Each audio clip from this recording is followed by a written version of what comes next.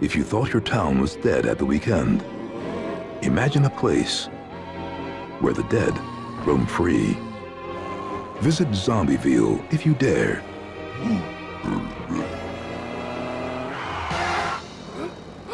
But be warned, the dead come out at night.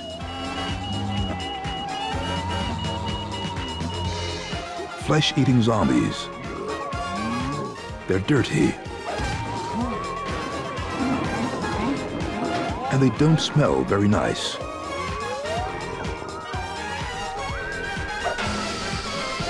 They're stupid. Even though zombies don't run very fast. And probably aren't that scary.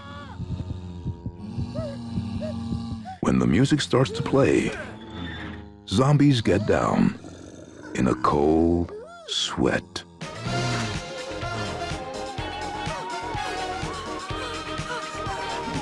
Zombie Nights.